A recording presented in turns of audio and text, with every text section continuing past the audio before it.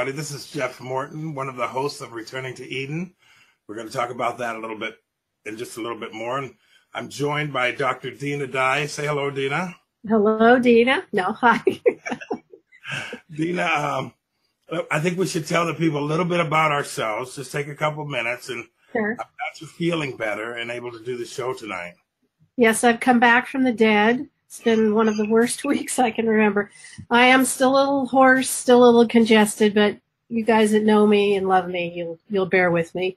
Uh, so, for those of you who are watching this um, broadcast here and if don't know who on earth we are, uh, I'm Dr. Dinah Dye with Foundations in Torah Ministry. Um, my doctorate is Hebraic Studies in Christianity, and I have been doing this that I do for nearly 40 years. And recently, in the last uh, three years, I have two books out, part of a trilogy The Temple Revealed in Creation and The Temple Revealed in the Garden. Currently, I'm working on The Temple Revealed in Noah's Ark.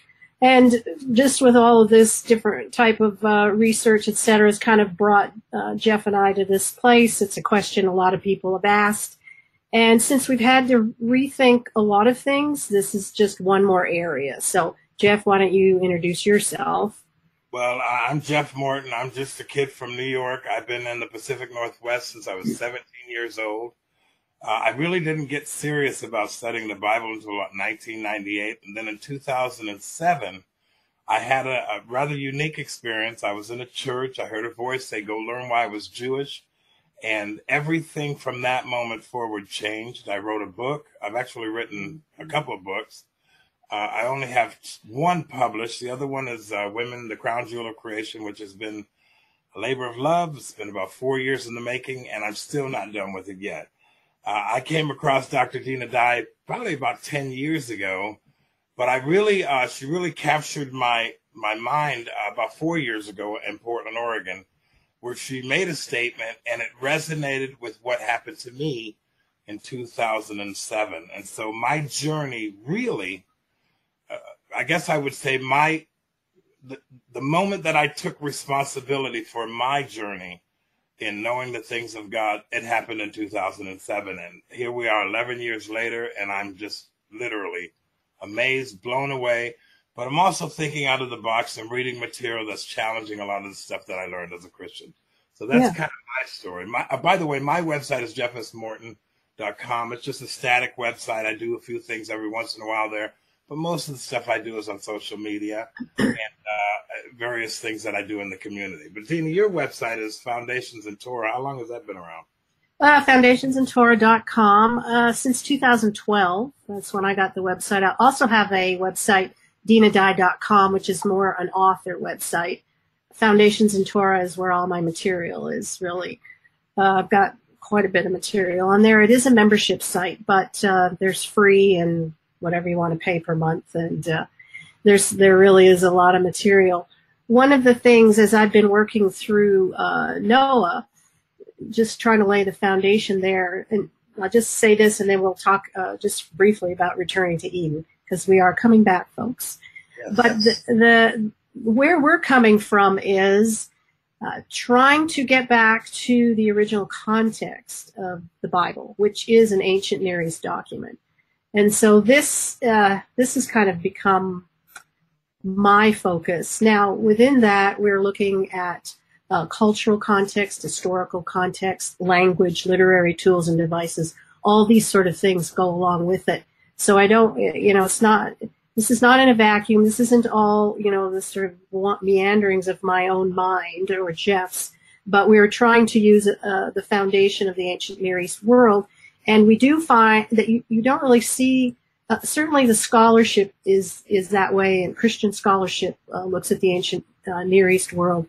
Uh, some of the Hebrew uh, Jewish scholars do as well, but by and large, this is a, a, relatively untouched area, and we are very fortunate because it's really only been in the last 150 years that we've had access to the material that actually came out of the ground to show us. So up until that point, the folks doing the research didn't really have that. So we're trying to return back to where we believe the Bible was, uh, the, the, the context in which the Bible was written. So with that said, uh, our show, Returning to Eden, really has that basis to it. So It's a radio show with the two of us. Hiatus back in April because I had to move. and now I'm sick. And anyways, hopefully it's all done and, and the show will return. I know a lot of you are fresh. Where, where have you guys been? But um, that is that is the foundation of for the show is is looking at the material in the Bible from that perspective. Well, and you, want to say something about the show? About the show, yeah. In April, we took a hiatus. We were both overwhelmed with a variety of uh, personal things and whatnot. Dinah had to up and move, and I had a whole lot of different things happening. Uh, so we, we, we told you all, and we apologize in advance, that we'd be gone for a couple of months. Well, it's been a crazy summer. it's been an interesting summer. So we've been gone, but we're bringing the show back. We're no longer going to do a live broadcast. Uh, we find that most of you listen to the um, podcast or at a later time. Uh, which gives us an opportunity to not have to be a certain in a certain place at a certain time.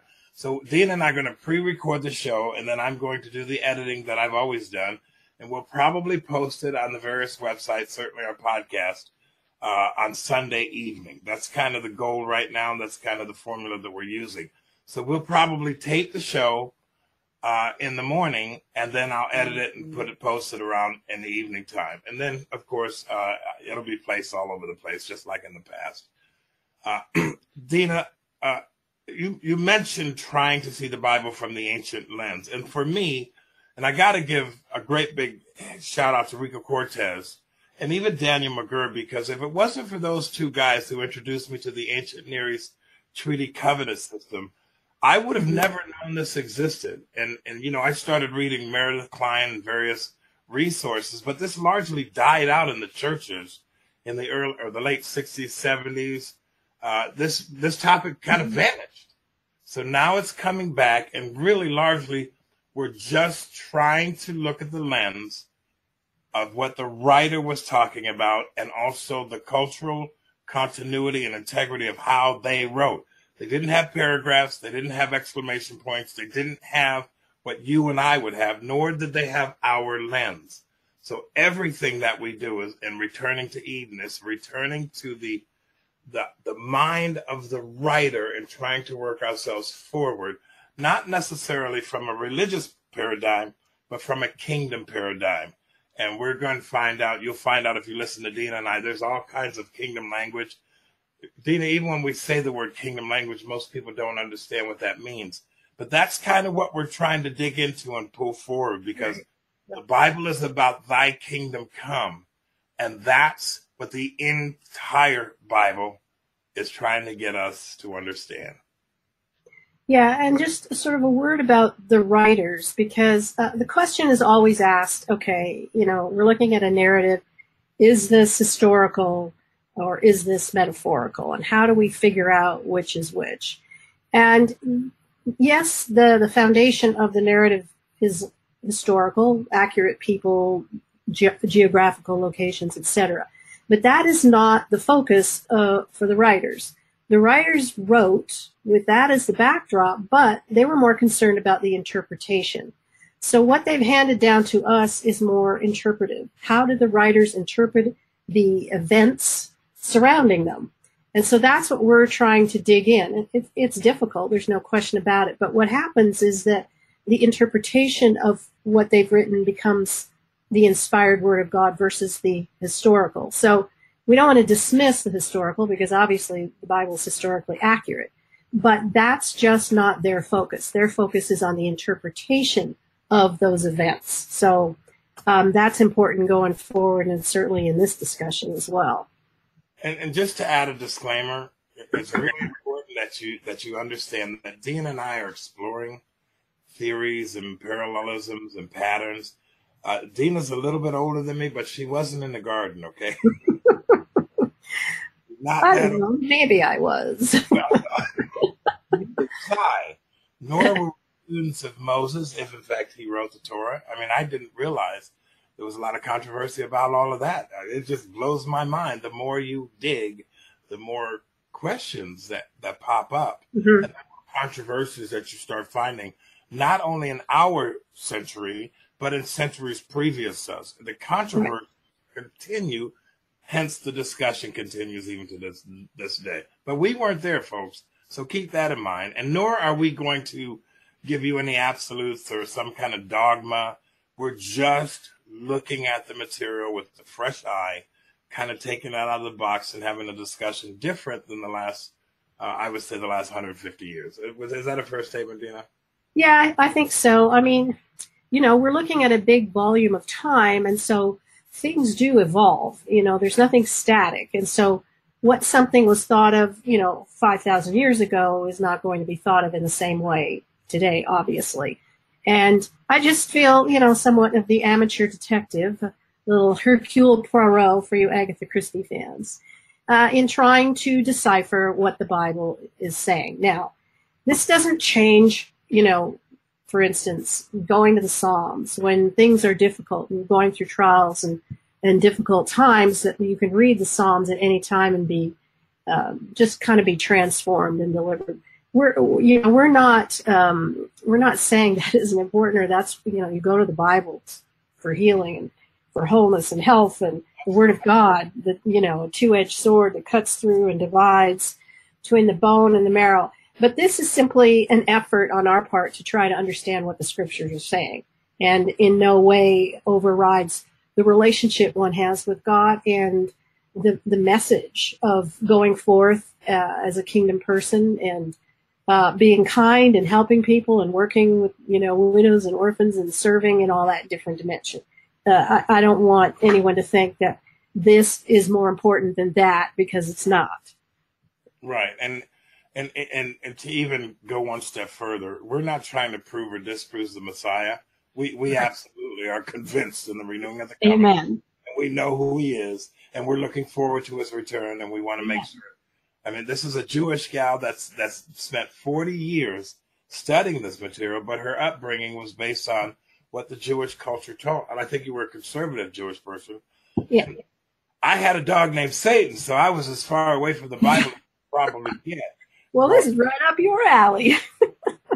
well, it's interesting because uh, our topic tonight is Genesis 3 1, and we'll probably you know, kind of meander a little bit because there's a lot to talk about here. But we want to kind of look at the statement itself. And the reason this all happened for me, Dinah, is I started pondering the idea that a snake slithered up to Eve and started having a chat with her. I started going back and breaking down the sentences and looking at everything in Hebrew.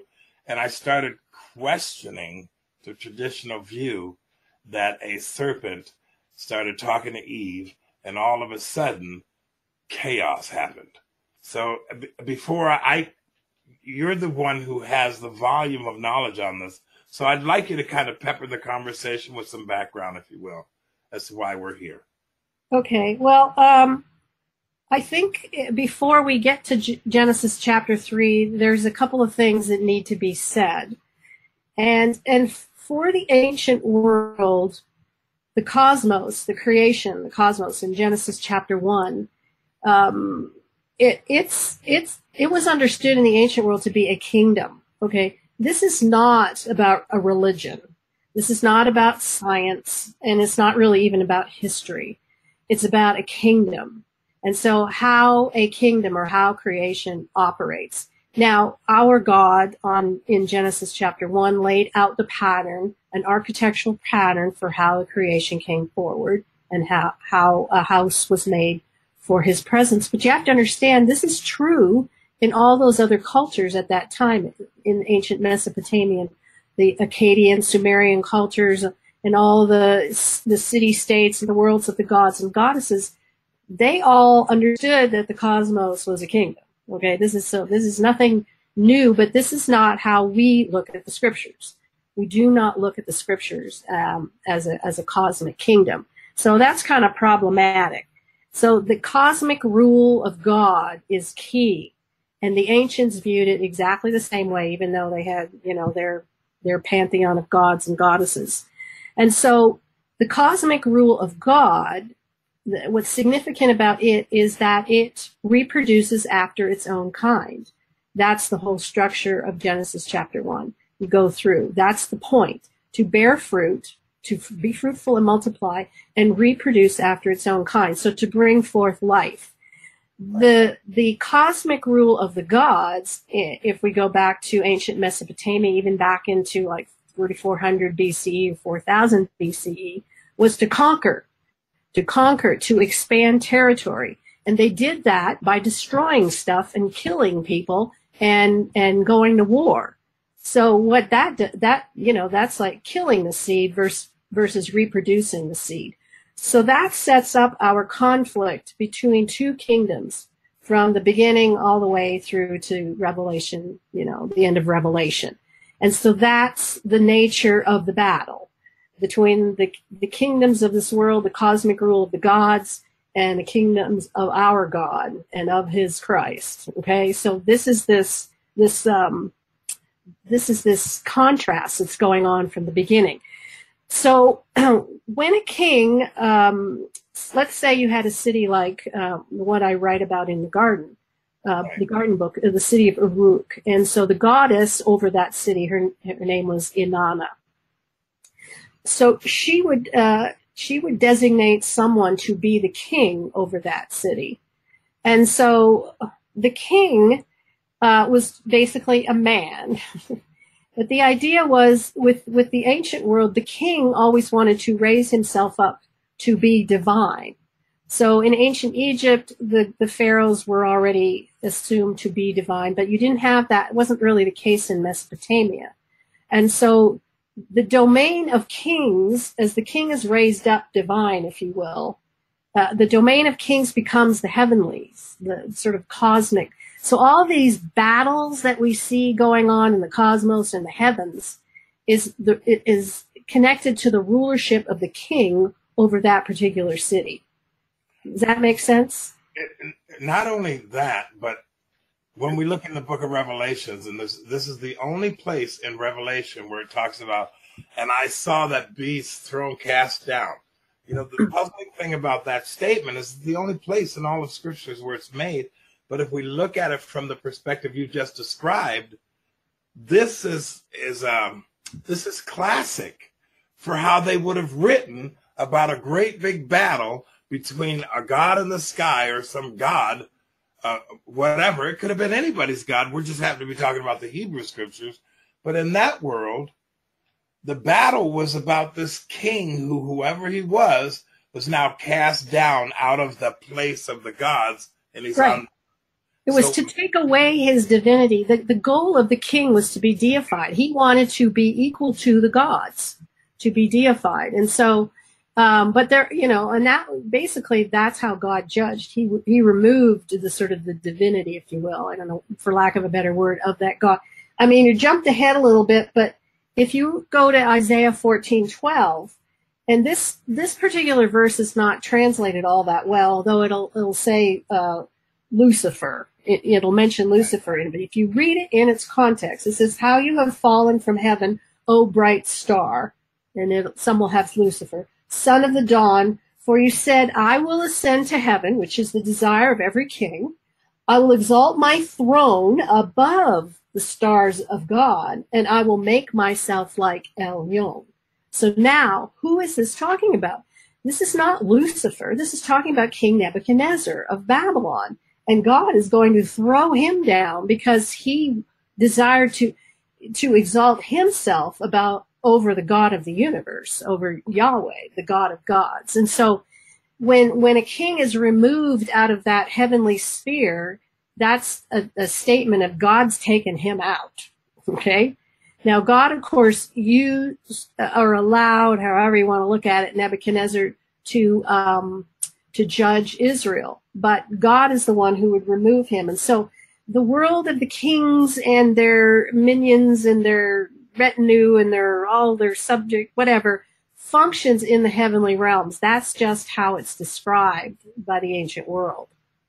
You know, that's really it's it's really important that that we understand that because these writers are not talking about a, a red dude with pointed tail and ears.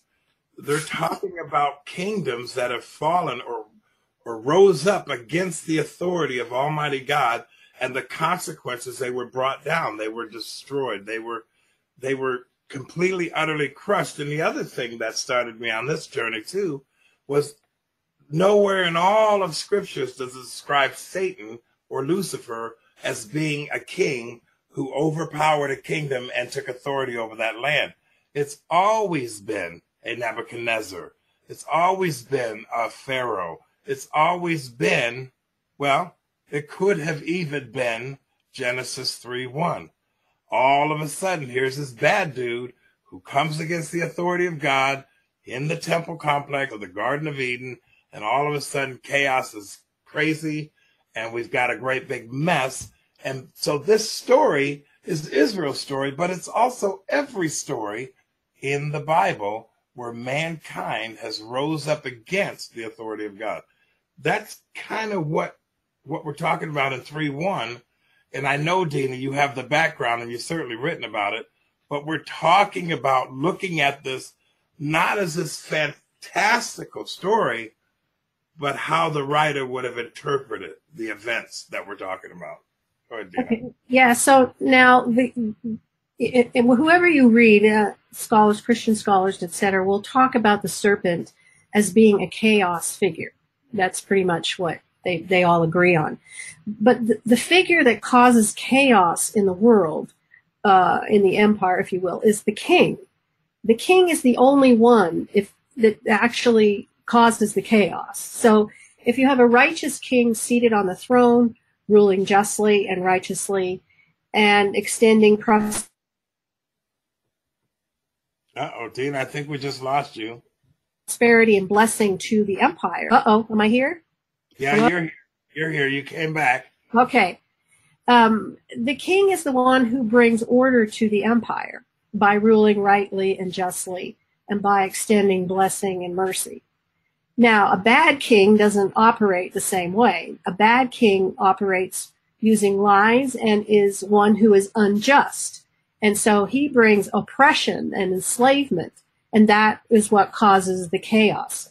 So it is the king who is the chaos figure in whatever empire world we are talking about.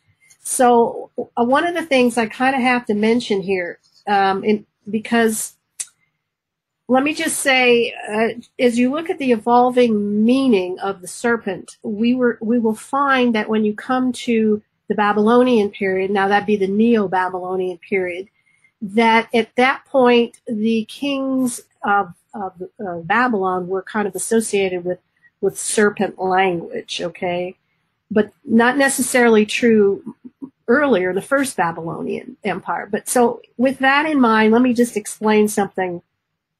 So for my research in uh, with the Noah story, I have been coming. I've been reading a lot of different scholars. And what I'm finding is that a lot of scholars now are saying or seeing that the Bible um, was probably written much later than we thought, perhaps uh, towards maybe sometime in Isaiah or later, or from the exilic or the post exilic period.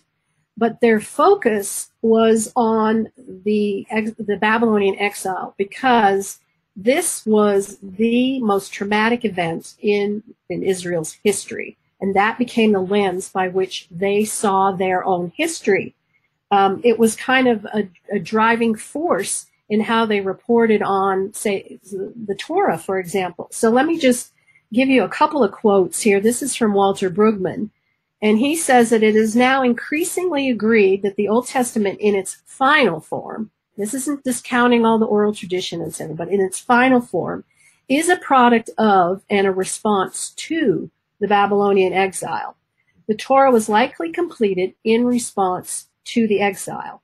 Now, the use of the old materials are not in doubt by any question. Um, that uh, Israel's document that Israel had certainly documented, recorded, told, passed down the stories, written orally, whatever, for hundreds and hundreds of years before the exile. We don't dispute that in any way. And some of the earlier records relate more to sort of deeds, uh, land deeds, court pol- political things, etc. And eventually those things came to be included as part of the sacred scripture. But all of this was in the context of Israel's national crisis. And so the suggestion is that the Babylonian exile is the driving force through the entire Bible. And this is a quote here Israel's moment of national crisis drove their theologians to engage their past history creatively. So if that is the case, and I, you know, obviously I cannot prove this, but I'm this in my reading, but if that is the case, do we not approach this Genesis chapter three as them reporting on the context being the Babylonian exile and that they are writing their history only in a more creative or interpretive form is what I was talking about the, the writers. So with that said, if we look at Genesis 3 1, that uh, talks about the serpent, and the Nachash was more cunning, shrewd, crafty than any other. Some translations will be beast in the field. Um, the, the better word, chaya, is a, a living, uh, something that's alive or living in the field, not just, uh, not an animal, a beast animal. Um, but to be, to be shrewd or, and, and certainly can mean that, I'm not discounting it, but the, the Hebrew root word there, aram, means to make something naked or to uncover something so that it's exposed, which is exactly what the exile did to Israel. It exposed who they were and it brought shame on them. So this story that we're going to go through in Genesis 1, if we were to think about it in terms of the Babylonian exile, um, if that's kind of the, the sort of lens there, now we see a story that brings shame and exposure and nakedness. And the language of exile is one of shame. It's shame language and, and, and, and nakedness and exposure. So that's kind of interesting if, if that's if that's you know a way to view it. Again, J- Jeff and I are just discussing this. You know, I mean, you know, I'm an outside the box kind of person, but I'm just for your consideration that perhaps uh, there's a different way to look at it. You, uh, Jeff, you want to comment on that? N.T. Wright makes a similar comment or statement. He says, if the average Christian reading the Genesis account is going to be reading the creation account, but the average Jewish person who, who reads that account is going to say immediately, this is Israel's story, which yeah. goes back to what you're talking about because we see the story of Israel. That's kind of what got me on all of this, Dinah. Yeah. see the story of Israel in the um the Exodus or the, the not the Exodus, but being cast out, being taken hmm. out of the presence of the place of God. Now all of a sudden you have this evil thing that shows up creates chaos because of a behavior or a failed behavior whereby Adam wasn't tending the garden. He wasn't being a king. He wasn't, he was being an Ahaz or a Manasseh. He wasn't being the righteous bearer of the very reason he was elevated up to this position.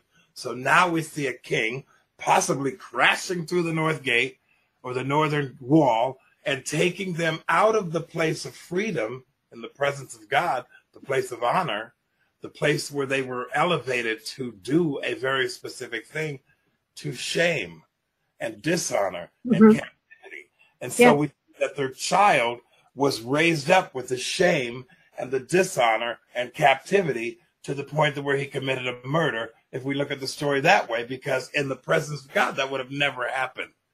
And this is this this is what got me thinking why do we exclude Adam and Eve from the story of Israel? Because to me, they are the story of Israel.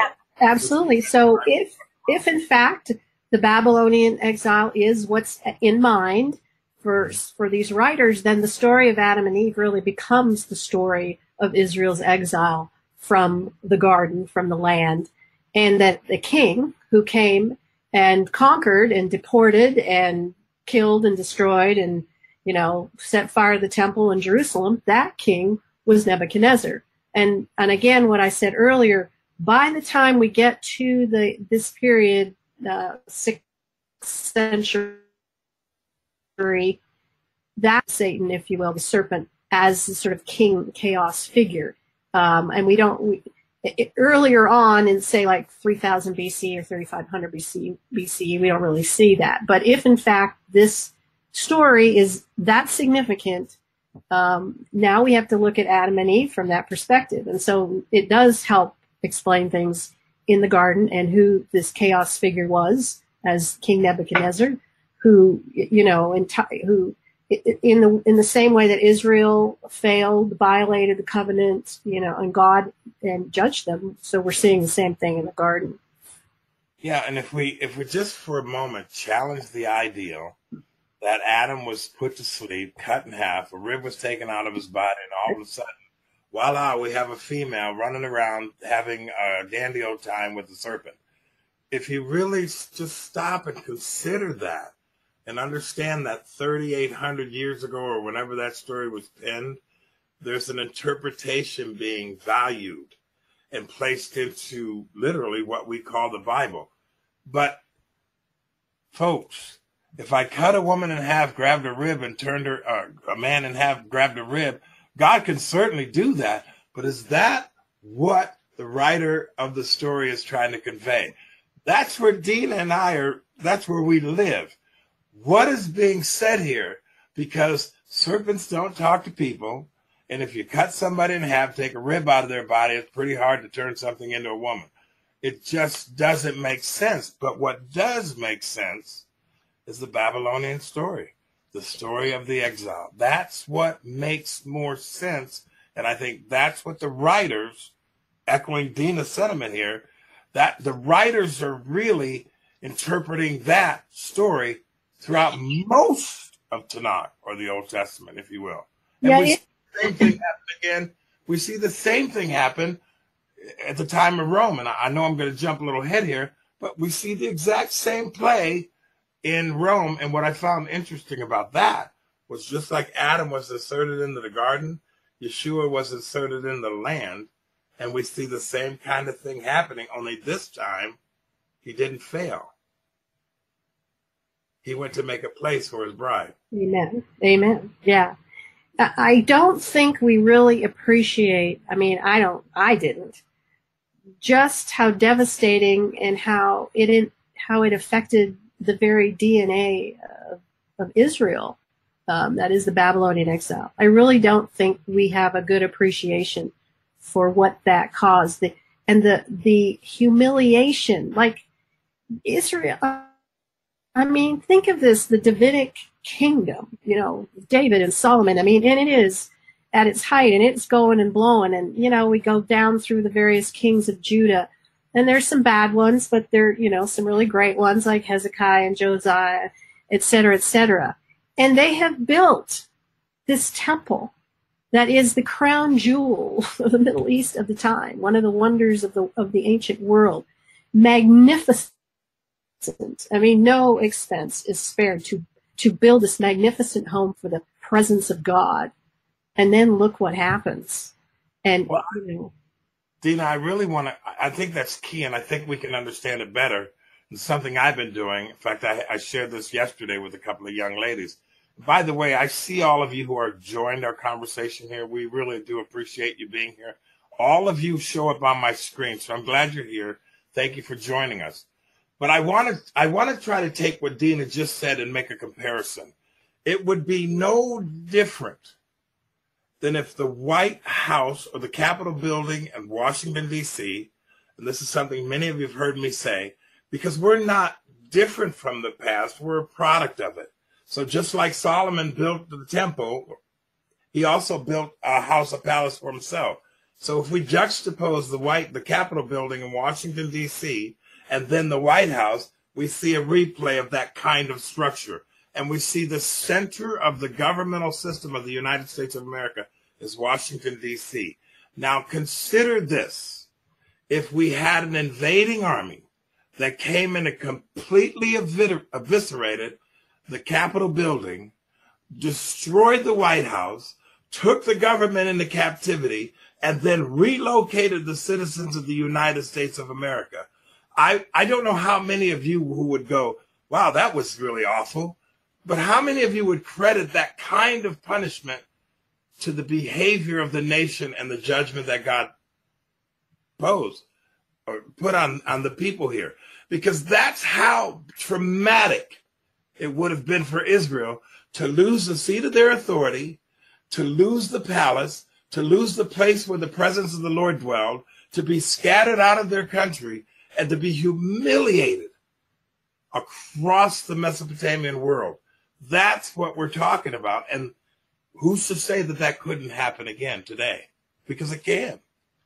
That's if you understand how big a deal that would be in our generation, then just go back 2,000 years or, or whenever, or back to the first temple and, and realize the magnitude of seeing an entire nation removed.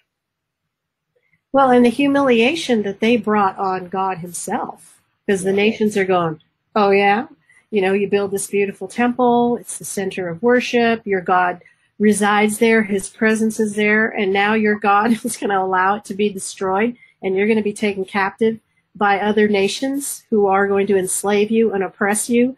And uh, uh, who who could even fathom that level of humiliation? So that's a very important the the Bible, it, it, many of the stories in the Bible are an effort to um, to deal with that humiliation, if you will. To dramatize it. I mean, yeah. Really. So as we're as we're reading and study, what? I was just going to say that's why we have the hyperbole and the analogies and the metaphor because they're really trying to accentuate the story, but and they come out of a mythical world, which you've written about many, many times. So that's their resource. They're using mythical, uh, a mythical conversation to exaggerate the story, but to drive the point home. Yeah. And that's what we are. That's what both of your books are trying to trying to point out. And certainly, John Walton and and you know when you told me about Michael Morales and I started looking at his stuff, Dinah. How come we never hear this in the sanctuary. That right. Is, with the scholarly world knows this stuff sideways, upside down, backwards, front, but we it doesn't filter down to the Sunday service. And even in the messianic world, and even in the Jewish world, I mean, today's uh, Jewish rabbis and whatnot, they don't touch this conversation. It's not there, other than the gentleman you told me about, and I did take a look, uh, yeah. Victor Hurowitz, and yes, he's he's point on some of the stuff I looked at in the last couple of hours. I didn't know about him. I've been looking for people like him in the Jewish world. Well, you know? there are, there are, you know, there are a number of them.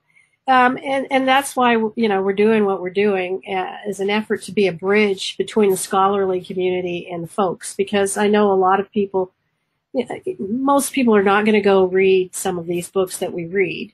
And, um, there's some excellent scholars out there. I mean, they've devoted their lives to this. And uh, I think if we can serve as that bridge and bring that material and then try to make sense of, uh, you know, what the Bible is saying, again, not discounting our call and our ministries, but just to try to understand it in a better light and not, um, we do goofy things, you know, because of the way we think we understand it.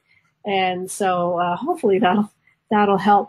But this this this world, this war between you know the kingdoms, the king of this world and the king our God. It, you know this is that's the war in the Bible. And of course, through the Bible we go you know through the various um, like Egypt and all the, the different pharaohs from uh, Babylon, Nebuchadnezzar and his son right. Evil Merodach and the Assyrians, Sennacherib and Tiglath-Pileser and Sargon and Shalmaneser and the Medo-Persian, I got the Xerxes and the Artaxerxes and the Darius, and but one of the most important figures in the Bible, I would maintain, would be Cyrus. Right. And if so, what your what your average king did again was to expand territory by going to war and destroying and killing everything in sight. But listen to the, this was on something called the Cyrus cylinder. It's in the British Museum, and this is what this is what Cyrus reportedly said. I am Cyrus, king of the world. When I and my soldiers entered Babylon, we did not conquer and kill. That's my point. We, they did not conquer and kill. He said, I did not allow anyone to terrorize the land. I kept in view the needs of the people and all its sanctuaries to promote their well-being. I put an end to their misfortune. The great God has delivered all the lands into my hand the lands that I have made to dwell in a peaceful habitation, freed all the slaves. I put an end to their misfortune in slavery, and he was referring to the Jews and other minorities. This is uh, this is a um, I can't even think of the word. This this is historical this particular king is operating in the shalom, if you will, the Sabbath, the rest that he would bring to the empire in order for order and stability to come. And he gave that to the Jewish people to be able to go back and to rebuild the temple, etc. This is profound because we don't see any of these other kings doing this. Um, he stands alone in that regard, and that is why he is a Messiah figure because of the the idea of restoring the creation, restoring the cosmos, and being a truly um, uh, ground zero, you know, king, if you will, in the cosmic sense. And, and a Gentile king at that. I mean, he yes, was yes, yes. not part of the house of Israel, the house of David. But we can talk about Hezekiah, and I know you did a whole series on Hezekiah. He tried to do the same thing, but his foible was he let a bad ruler in his. yeah. He, he let somebody in to the Holy of Holies. You made a comparison to Hezekiah and uh, and Adam. Can you can you elaborate on that a little bit? I don't remember what I said. no. Um, so we have, you know, Adam is in the garden under the tree, if you will. Yeah, complex. Let's just call it what it was. King, king, king, figure. Um, but he, if in fact uh, the serpent represents a king figure, he allowed a king into the sacred space that had no business being there. And that king um, took advantage of him and worked from the inside out, literally. And so we have the same story I maintain with the king Hezekiah, who allowed the envoys of the king of Babylon to come into the temple and he showed them absolutely everything. Now, these are the envoys of the enemy. Right. And he was quite happy to let them in and show them all the silver and the gold, the armory, the house of the forest of Lebanon, and everything else. And it's not very long after that that Nebuchadnezzar comes. I mean, he had all the inside plans. He knew what was there and he knew what to take. And that is because uh, Hezekiah allowed an enemy it, from to work from the inside out. And then his son came up to be horrific, you know. But he did end up well. he started out poorly. Manasseh. Yes, Manasseh, Manasseh. Yeah. But the point being is that, you know, we see this whole thing handed down. I'll tell you what, when you make a mistake in service to the king, the consequences are generational. They really yeah, are. Yeah, yeah. And that's important to the third and fourth generation. Destruction. You know, that, that's what we're talking about. It's like the, if you if if God appoints you to do something and then you screw it up, uh, I think of David's kids. They were a mess. They were a complete mess. But back to what our point is: is the serpent is he a person? Or is he a little red guy with pointed ears and a red tail running around creating havoc in the Garden of Eden story? I believe that it's a person. I believe that it's, especially when we look at the vassal kingdom, Caesar vassal, I think it's more like the caliph of a caliphate system or an evil empire that moves against the authority of God in through through Adam, like like what has always happened. Nebuchadnezzar. Just go down the list the, the Roman emperors, they all did the same exact thing. They moved against the authority of God Almighty, who was revealing himself through his nation, his people.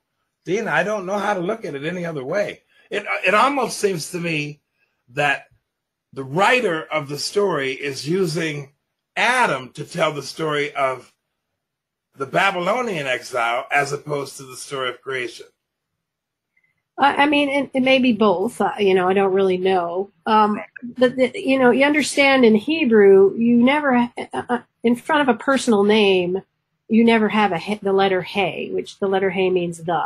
Yeah. And pretty much, except for one time, and that's kind of debatable. But every time Satan Hasatan is used in the Hebrew Bible, it always has a "hey" in front of it.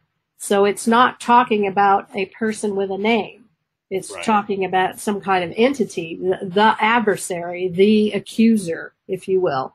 So most of the times, uh, uh, at least five of the times, it's referring to an actual human, military, political uh, figure, some sort of legal opponent. And then there are four times in which it's referring to some kind of divine being, which can also be the king, because every king in the in the ancient Mesopotamian world was desired was to be raised up and to become divine. Um, well, I mean, Dinah, that's the whole story of Job. Yeah, well, I was actually just going to say that. Okay, go ahead. I'll let you because that whole story there. If we don't look at Job as being this poor, downtrodden guy, but if we look at him as a high priest, looking at the after aftermath of the destruction of the temple, then the story makes more sense. So right. You, well, and so we know. I mean, we don't know for sure if if Job is a you know a high priest. Reading it, it you know, we get the sense that he is regardless, we know he's wealthy and he's part of the power elite. Like, this isn't some guy with no influence and power. And those are the ones, it's the power elites that the power elites go after. So if this Hasatan figure is, is a king type or a, you know, some sort of elite, it's the powerful going after the powerful. And of course, he's attacking Job's designation by God of, of being one who is blameless and upright, which simply is stating this man has made a covenant with me, and I am providing him with that covenant protection. So it didn't really matter what happened because the covenant protection of God eh, in that relationship is is what's at stake here. And I would maintain. I never thought about. You just put something in my head oh. because in the ancient Near East treaty covenant structure, God would have been obligated. Yes. He would have been obligated by his own word Right. To protect. Yeah. I you just gave me a little zinger there, Dinah. Okay. Well, I would also take that one step further and suggest that the story of Job is really the Adam story being repeated. That God was, you know, provide the covenant protection for Adam, uh, you know, within the sacred space. Uh, Adam failed, and uh, you know, a king came after him, um, and he, you know, he allowed that king in the sacred space. But but Job, in essence, doesn't fail, and everything is removed. But the the king or whoever this figure is cannot take his life, and God, of course, restores everything back to him. So this is this is covenant language, which is a picture of the restoration of the very presence and the place of God. Because yeah. if Job is, if we're looking at Job and we're looking at the writer using all this hyperbole and all this metaphors to talk about the destruction and the consequences that happened. Uh, really, just for a moment, I'll segue and say, if you if the United States of America was utterly destroyed, you had dead bodies all over the place. You're going to have sickness and disease. You're going to have death that's going to linger for months.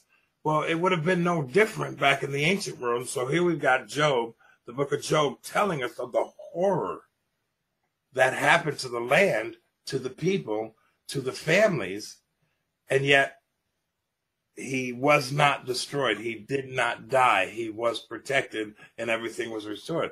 This is classic kingdom language of the restoration of the kingdom of God. Yeah, and he was he was a man from Uz, you know, a man from the trees, you know, the forest. It's kind of interesting. Um, before we get uh, to, I just want to make a couple of comments so we don't miss this because one of the main places we see them mentioned uh, the seat of Satan or the, the throne of Satan, if you will, in the church of Pergamum in Revelation 2, verse 13. And really that has to do now our, you know, our new king is Caesar. And so, um, after Caesar, Augustus became deified, which is the goal of every king is to become deified by their God. Um, that was the goal is to make this throne here, this temple here for Caesar, because he was the man raised, you know, he was the king, the, the god that was raised up to, to become king or to be deified. So the language of Pergamum is, is saying exactly the same thing about Hasatan, if you will. Um, the only, one of the other important places is in Revelation, of course. And here we have well, let me, I, well, I don't know where I wrote it, but if you go to Isaiah 27, I think that's where it is, talks about the Leviathan, the Leviathan, the dragon, the twisted serpent, usually in, the, in that context referring to Pharaoh. Again, the serpent connection to the, the god, and Pharaoh was a god, and to the Mesopotamians is, is, is strong there. So Revelation has this dragon language all over again. And um, you know, I don't want to get too lost in this, but the idea in Revelation, of course, is to restore the cosmic rule of God on earth through the Messiah. So we're back, you know, back to that cosmic um, restoration. And then it describes the great dragon being thrown down. So now when we look at Isaiah 14, we understand that was Nebuchadnezzar. In this case, it would be Caesar. That when Yeshua is resurrected from the dead, we'll see the great dragon Caesar, the you will, thrown down from the the. Uh, oh my gosh, I am running out of power. I gotta plug my computer in. Can you talk? Can you talk yeah, for five I, minutes? I, I want to talk about what she just said. Okay, I'll be right back. In the book of Daniel, when it talks about in 12, I think it's in 12 7, it talks about the four kingdoms. And really, really, this is so critical that you just kind of park this in your brain. You, you look at the four kingdoms, you talk about uh, Babylon, then you talk about the Persians, then you talk about the Greeks, and then you talk about Revelation or Revelation. You talk about Rome. And I find it interesting that the Messiah, Yeshua, came during the kingdom of Rome. And so when we're talking about when when John or whoever wrote the book of Revelation, let's just throw John up there because that's what we've been taught. He's talking about the culmination of what Daniel was talking about. So when it says that there would be one raised up among you, and Daniel does a great job doing this, it's talking about the fourth kingdom. And the fourth kingdom is exactly when Messiah Yeshua was raised up and the kingdom of God was renewed in the earth and he was crowned king. There was so much that happened in the ministry of Jesus or Yeshua that we have, we're so disconnected from because we don't understand the ancient way that it was written. Dean, I'm talking about the fourth kingdom, which would have been Rome. Right. And, and, and so we see that I find it absolutely brilliant that Messiah Yeshua would come during the fourth kingdom. Because right. that's exactly what Daniel prophesied in chapter 12 or chapter 7, chapter 3. And th- there's a chiasm there between uh, 3 and 6 and 7, 2 and 7 in the book of Daniel. But it's still mm-hmm. talking about the kingdom of God being restored. And what we don't really understand, Dinah, I know this is a passionate subject for you, is the inauguration of the king happened during the Messiah's reign or walk on this earth. This whole thing changed and was transformed during Messiah or Jesus's ministry, if you want to call it that. But he really literally took back the reign of the kingdom mm-hmm. of Elohim in the earth during the cosmic, that the cosmic rule. That's Go the key. Ahead. Yeah. It's not just he, you know, it, it wasn't just about Israel. It right. was about the cosmic rule he was the one, the Messiah to come, the Son of God seated at the right hand to, to rule over the cosmos, because at that time, those people understood that Caesar was running the show. He was running the cosmos with his gods. So this was a huge deal. We don't really, I mean, we understand, I guess, who Messiah is in that way, but, but this was, this is way bigger really than we understand is, I guess, my point. Well, and he was, so, he did it perfectly, which means he restored the honor, he restored the covenant. He he he literally was the guarantee. This is so critical. He was the guarantee that the nation of Israel would be brought forward again. He guaranteed that. And of course, mm-hmm. it happened in 1948. And if you don't understand, there was not a human being on the planet that could have stopped Israel becoming a nation in 1948 because the blood covenant that was restored, the one that was made with Abraham, was renewed. And literally, we witnessed it happen in 1948. If you can wrap your head around this, this isn't about Jew and Christian. This isn't about religious thing. This is about, we're literally witnessing the guaranteed nation of Israel restored in order to receive the rightful, receive the rightful king, the mm-hmm. inheritor of everything that God said he was going to do. That's what we're seeing happen. And the rulers of this world, not Hasatan, he's not running around hopping on the throne. The rulers of this world are trying to stop it. Uh, in every generation, in every generation. And this is, this time is no different than the other. So in that, passage in Revelation 12 talks about the ancient serpent called the devil, the Satan who deceives the whole world. Well, that's exactly what the king, uh, the serpent did to Adam. He deceived him. It's what the serpent did to Hezekiah. He deceived him. It's what the serpent did to Israel, deceived them. Okay. And then when they were deceived and the, the covenant was broken because of that deception, um, and, and then an enemy could come in and run roughshod over, you know, at, who, whoever we're talking about here. And, and that enemy would work from the inside out and destroy. But then it talks about um, he would be thrown down from heaven. Remember, everything, the world of the ancient kings was the heavenly realm. So that king, Caesar, would be thrown down from his place of deity to be like the serpent in the garden eating dust. You, you know, you gotta, gotta look at it like this, folks. God yanked him off of the throne and threw him in the dirt, kicked him out. Not this fireball comes shooting out of the sky. The writer's trying to tell you that he was literally pushed off of his position into the dirt. And, and remember, the shape of the, the, of the of the temple shape was as a mountain. So the idea of this falling down from above, you know, from on high, from uh, from the top of the mountain, that was a very classic language for the ancient world. They understood that, you know. And it was a classic writing style. That's oh yeah, not a literal thing. It's a classic writing style having to do with kingdom language based on who is the sovereign king versus all the vassal kings of the earth. This is so important. And it's when you understand the, the, the, the covenant structure of the kingdom of God, it's really like a constitution. And, and God is just restoring the constitution of his kingdom through the blood covenant of Messiah Yeshua. This is literally what's happening. Uh, it's just, oh, there's so much. We got about four minutes here. Okay. Well, and remember in that also in that passage, it talks about you know the dragon's thrown the earth to the earth, the stalks the woman, she flees into the wilderness, and it, you know when you see that wilderness language, you know that that's tabernacle language. She's fleeing to the place of the presence of God, and who's coming after her? The armies of Rome. So right. whenever you see floods and raging rivers and stuff like that, it's usually dealing with armies. In this case, the Roman army comes to sweep her away. And that's kind of, we have Noah language in there. I mean, there's just all kinds of stuff.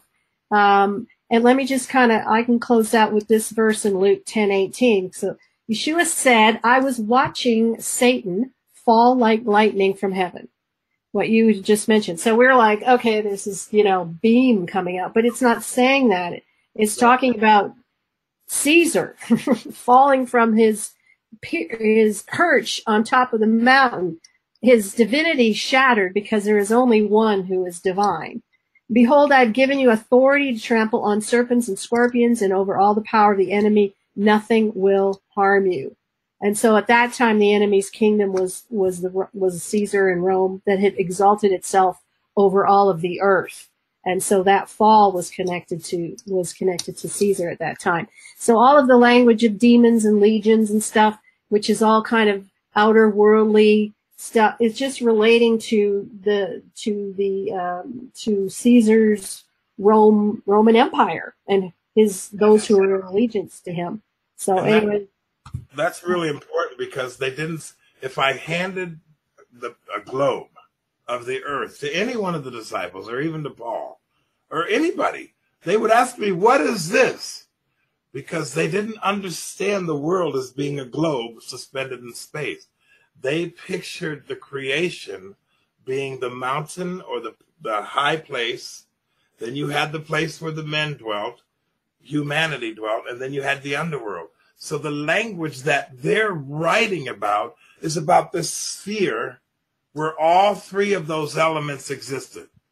Not God's on the other side of the universe and one day he's going to come shooting across the sky and land on the Mount of Olives. No, He's going to come down from the high mountain and his feet are going to stand upon the place of his presence, which has always been Eden. And that talks, and that it talks about the Torah going forth from from Zion and from Jerusalem. Yep. Isaiah three, Micah three, four, four, three, two of my favorite verses. Yeah. Listen, guys, we're out of time. We only wanted to do this for an hour. I really appreciate all of you who, who are in the room which is kind of nice.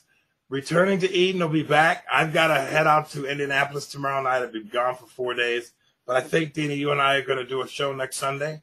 Or are you going to be in, uh, when are you leaving for Albuquerque or where are you going? No, I'm going to Amarillo to film uh, for Israel TV Network, which is next Sunday, but we may have some time. We'll, we'll talk. We, we're not tied to any particular day, so. Right.